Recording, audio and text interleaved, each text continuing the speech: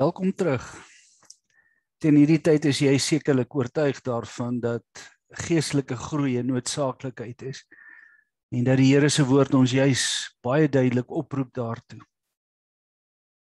Maar jy het ook die geleentheid gehad en ek hoop jy het dit ten volle benut om ook regtig jou eie geestelike lewe te evalueer met die hulpmiddel, slegs 'n hulpmiddel om te kyk waar is die aspekte waarin jy regtig ook kan aandag gee. Want gebed pas binne hierdie situasie van geestelike groei, die evaluering daarvan pas dit in. En dis waarop ons nou gaan fokus. Ons gaan fokus op die praktyk van gebed en daarom gaan ons kyk na die skool van gebed. Noem dit 'n skool van gebed en dan gaan ons spesifiek fokus op 'n selfhelp situasie want ek dink dit is elkeen se verantwoordelikheid om maar binne sy eie konteks, binne sy eie situasie, eie tydsbesteding, eie verantwoordelikheid 'n bietjie te kyk na wat is die belangrike aspekte as dit kom by die saak van gebed. 'n Skrifgedeelte waarna ek wil verwys is Jesus was ergens op 'n plek besig om te bid. Lukas 11 vers 1. En toe hy klaar was, sê een van sy disippels vir hom: "Here, leer ons bid, soos Johannes ook sy volgelinge geleer het." In hierdie kort tydjie wat Jesus by sy disippels was, is daar hierdie een saak wat hulle opgemerk het. Dat dit vir hom 'n gewoonte was, sê ander skrifgedeeltes, om te bid, om homself dan ook af te sonder en te gaan bid. En dit het hulle tot die punt gebring om te sê, Here, leer ons ook asseblief om te bid. En ek dink dis die behoefte in elkeen van ons hart om binne die baie bedrywige tyd en lewe waarin ons is, ook te weet hoe om te bid. En dis waarop ons wil fokus.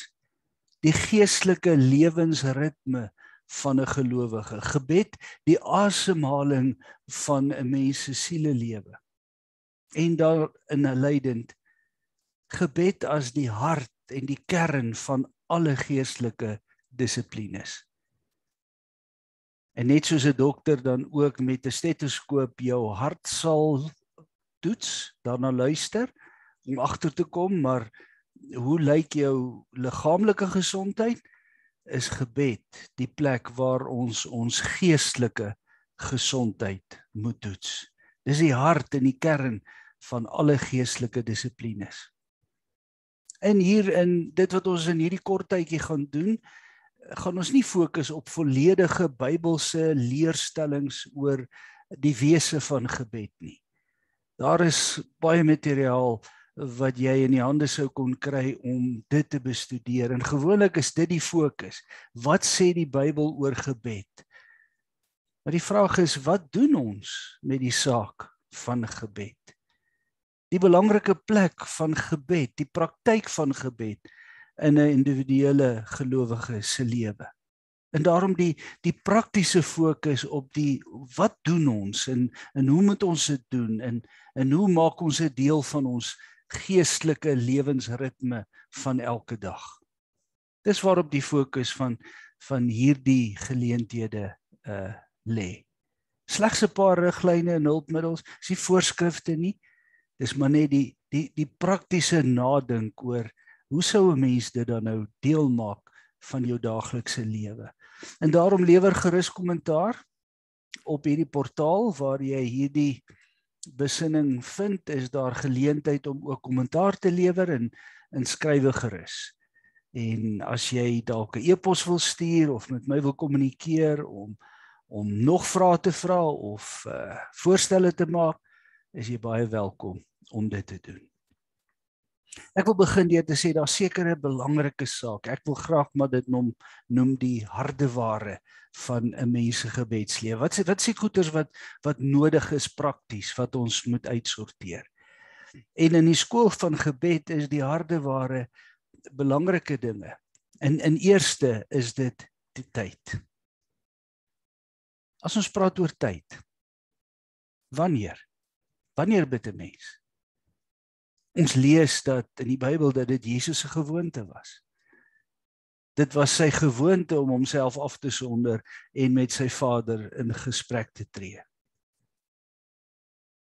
Ons lees in die Bybel van Henog wat met God gewandel het. En dit is vir my 'n kosbare beeld om te sê soos wat ons as pelgrims deur hierdie lewe beweeg elke dag lewe ons in 'n verhouding met die Here. En en hoe sou ons hierdie dis die heel belangrikste verhouding waarin ons is, 'n versoende verhouding met die almagtige God. Hoe sou ons dan met God wandel? Hoe sou ons saam met hom lewe? Wat is die die tydsaspek van hierdie verhouding? Hoe vorm 'n gewoonte? 'n Gewoonte word gevorm deur dit gereeld te doen op 'n spesifieke tyd om om iets te herhaal, om doelbewus daaraan aandag te gee, om 'n prioriteit daarvan te maak in jou lewe. Om tussen al die belangrike tydsake 'n prioriteit daar te stel. Dis hoe 'n gewoonte gekweek word. Om as jy graag wil oefen en fiks wil word, 'n prioriteit tyd af te sonder en te sê op hierdie tyd gaan ek daaraan aandag gee en dan daarby te bly en nie net 'n week lank nie maar 'n tyd lank aan te hou daarmee totdat 'n mens kan sê maar dis hoe ek my dag deurbring. Hierdie tyd spandeer ek aan hierdie saak. En dis hoe ons ook prioriteit tyd aan gebed moet gee nie net 'n um, noodwiel gebed nie nie net die verskillende gebede wat ons in elk geval bid, hopelik nog rondom die etenstafel of as ek gaan slaap of as ek opstaan of as ons gaan gaan reis en ons bid voordat ons op die pad gaan. Maar daardie spesiale tyd wat jy afsonder om in die Here se teenwoordigheid 'n verhouding te laat realiseer. Watter tyd maak jy daarvoor? 'n vaste afspraak met die Here. 'n Mens loop deesdae by baie mense verby, mense wat jy ken, mense met wie jy in verhouding lewe, maar jy gee nie genoeg aandag aan hulle nie. En daarom moet daar 'n afspraak wees. 'n Tyd van stil sit en stil word en mekaar in die oë kyk. En ek dink dis ook belangrik dat ons daaroor sal besin in ons eie lewens. Wanneer maak jy tyd vir God. Dit moenie 'n 'n moet wees nie. Ek moet, maar ek kom nie daarby uit nie. Dit moet 'n wil wees in die sin van ek wil en en en daarom is dit vir my belangrik dat ek dit wel doen. 'n Verhouding kan alleen sterker word as daar sulke wil geleenthede geskep word. Wanneer mense in mekaar se teenwoordigheid geforseer word nie maar dit daardie geleentheid opsoek daardie geleentheid prioriteit maak in 'n mens se lewe. Daarom glo ek dat die mees praktiese wat 'n mens kan doen is skryf dit in jou dagboek en as jou dagboek nie uiteindelik 'n 'n fisiese boek is of 'n dokument op jou rekenaar wat jy moet invul nie maak dit deel van jou lewensritme. 'n Spesifieke tyd uh in jou persoonlike lewensritme wat dan ook 'n prioriteit is. Dis vasgemaak. Dit word 'n gewoonte. Dis onveranderlik. Dit word deel van dis hoe ek dinge doen. Dis hoe ek lewe elke dag. So ek dink dis belangrik. Gebed is nie ja, ek bid nie. Gebed is ja, dis deel van my lewensritme. Kom ek vertel jou hoe ek dit inrig. Watter geleenthede is daar, maar ek wil jou graag vertel van die besondere geleentheid, die afspraak wat ek elke dag met die Here het in verhouding. Tyd. Jou beste tyd. Nie maar net 'n afskeeptydjie nie nie maar net 'n 'n noodtyd nie dat ek meer bid nou dat die nood daar is nie of ek 'n behoefte het nou bid ek meer nie Maar jou beste tyd. Wat 'n opoffering vra. Verseker, is dit ook deel van ons offer aan die Here. Nie net geld en tyd om ander mense by te staan of 'n tyd om kerk toe te gaan, 'n tyd om 'n erediens by te woon nie, maar 'n tyd om persoonlik in die Here se teenwoordigheid te wees. Nie in die skare te verdwyn. Ek is daar nie, maar self persoonlik voor hom te gaan kniel voor hom te sit, voor hom te staan, met hom te praat persoonlik. Jy gaan 'n klomp goeders met een kant toe skuif. Jy gaan moet kyk na wat is al die belangrike dinge in jou lewe? Wat is die 10 belangrike goed vandag? Wat's nommer 1? Dis daardie dit moet nommer 1 wees in my beplanning. 'n Opoffering. En dis wat dit beteken om 'n disipel te wees, 'n navolger van Jesus Christus. Dis nie ek hoop om nog daarby uit te kom nie. Dit is dis dis ononderhandelbaar. Dis deel van my lewe, my lewensritme elke dag. En dit word dan 'n gewoonte. Dalk moet ek mense vra om my te ondersteun. As dit binne die gesin is vir die gesin te sê hierdie tyd is tyd wat julle my asseblief nie moet pla nie want ek sit dit eenkant. Ek offer dit op vir die Here of as dit moeilik is om dit binne in 'n besige dag en rotine met 'n klomp kinders wat jou aandag vra in te in te pas, staan vroeër op. Tyd wanneer dit nog stil is. Ja, dis 'n opoffering. Dit is dalk moeilik om om vroeg op te staan. Maar dis gewoonlik die beste tyd. Die tyd wanneer ons die helderste is. Watter tyd gaan jy afsonder eenkant sit opoffer dat werklik beplan om persoonlik in die Here se teenwoordigheid te wees. Hoe gereeld? Ek wil nie eers die woord te inbring nie, te veel, te min. Dit sal nooit te veel wees nie, dit sal eerder te min wees. Maar dit moet 'n gewoonte word. Hoe lank? ek wil ook weer nie sê te lank, te kort, dit gaan eerder te kort wees. Maar daar moet ruimte wees ook vir groei om te sê ek het ek het begin met 'n halfuur agtergekom, 'n halfuur is nie genoeg nie. Ek groei ook daarin. Dit dit word al hoe langer. Ek staan nou vroeër op juis om daaraan aandag te gee om alles in te pas wat in hierdie hierdie verhoudingsgesprek interaksie met God aan die gang is. Dink 'n bietjie hieroor na. Watter tyd gaan vir jou die tyd wees wat jy reserveer vir die Here? 'n Ander belangrike saak waaroor ons moet praat is plek. Waar? Waar gaan ek dit doen? Daar's geen voorskrif in die Bybel daaroor nie. Uh Jesus het maar net een kant toe beweeg weg van daar waar 'n klomp dinge gebeur wat 'n mens se aandag in beslag kan neem, wat 'n mens se aandag kan aftrek. En daarom skal dit seker enige plek kan wees. Maar as ons praat oor 'n enige plek, dan wil ek sê ja en nee. Ja, ons kan net ons oë toemaak en vir die Here bid.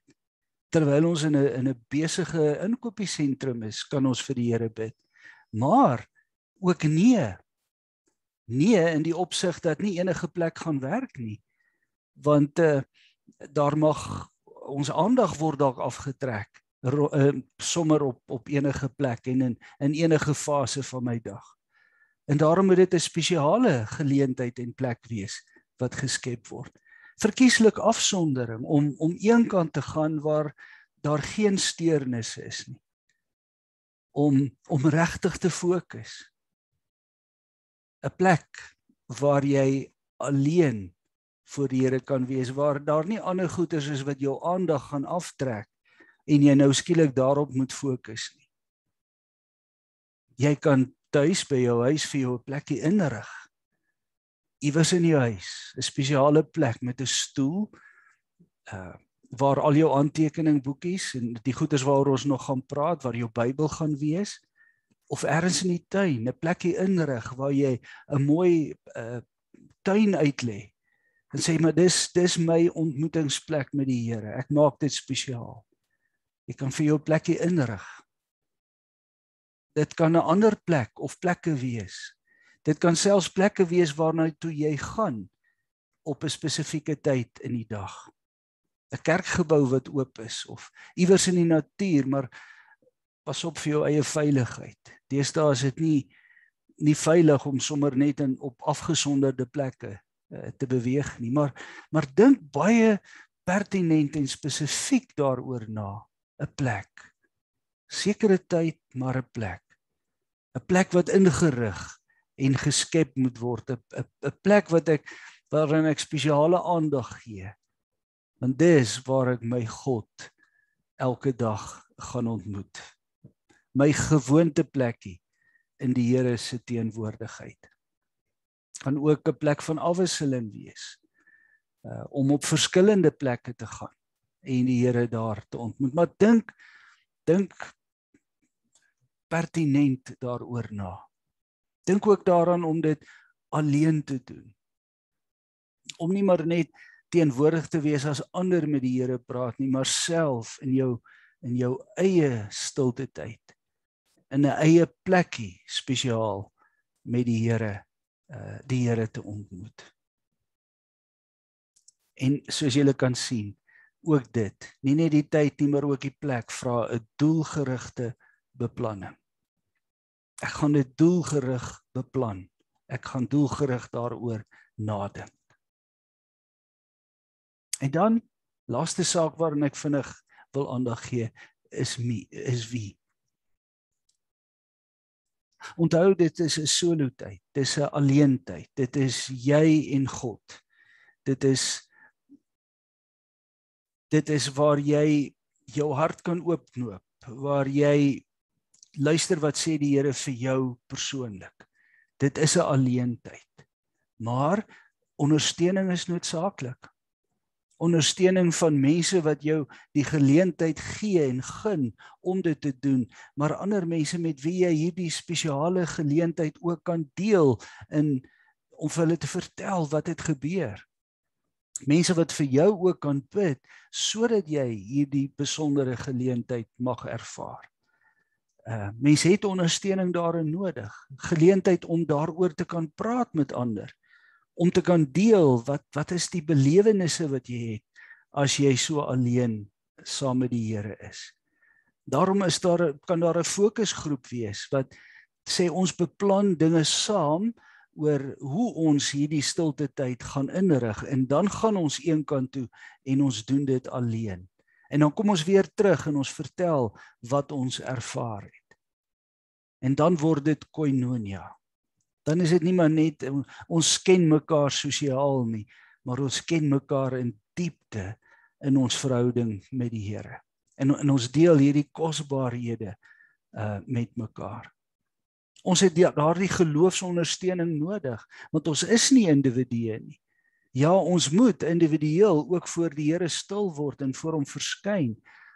Maar ons deel soveel met mekaar. Geloofsondersteuning ook vir hierdie aspek van ons geestelike lewensritme en dan om te volhard. Wanneer 'n mens so 'n saak gaan aanpak, dan gaan daar geweldig baie in jou pad eh, gegooi en gestuur word. Enigiets wat die moeite werd is, sal ook deur die Satan aangeval word met die bedoeling jy het vir jou alles so mooi haarfyn beplan en en net as jy dit wil begine doen dan dan gebeur die lewe. Dan is daar 'n oproep dan is daar iewers 'n krisis dan gebeur dit dan gebeur dat. En dan begin jy moed verloor en jy los dit sommer maar net. Nee dis juis wanneer jy hier rondom getoets sal word dat jy moet volhard en die keuse moet maak en sê nee eerste hierdie saak Die ander sake sal ons kan uitsorteer later, maar hierdie is nou heel eerste die prioriteit. Tyd? Watter tyd? Dink daaroor na, beplan dit, bedink dit. Maak 'n besluit, maak 'n maak 'n keuse daarvoor vir jouself. Vroeg, laat, plek, waar gaan jy dit doen? En dan op watter manier gaan daar vir jou ook ondersteuning wees hierin? Dis die belangrike waaroor jy nou moet gaan nadink.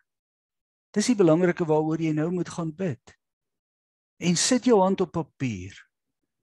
Skryf vir jou 'n dagboek. Skryf neer jou voornemens. Dat dit nie maar net gedagtes is wat met die wind en en met die met die gebeure van die wêreld weer gaan wegwaai nie. Maar dat dit 'n verbintenis word in hierdie hele geestelike lewensritme waar gebed die hart is van my geestelike dissiplines is dit wat ek onderneem in terme van tyd in terme van plek en in terme van 'n geloofsondersteuning. Volgende keer kyk ons 'n bietjie na die sagte ware. Hierdie dan die harde ware. Baie sterkte daarmee nie maar net iets om oor na te dink en dan vlieg dit weer saam met die lewe uit my gedagtes uit nie. Maar belangrik, gaan sit jou hand op papier. Doen beplanning. Maak erns daarmee. So as ons mekaar gaan vra, wat het jy beplan? Dat jy daarop kan antwoord. Baie sterkte en seën daar.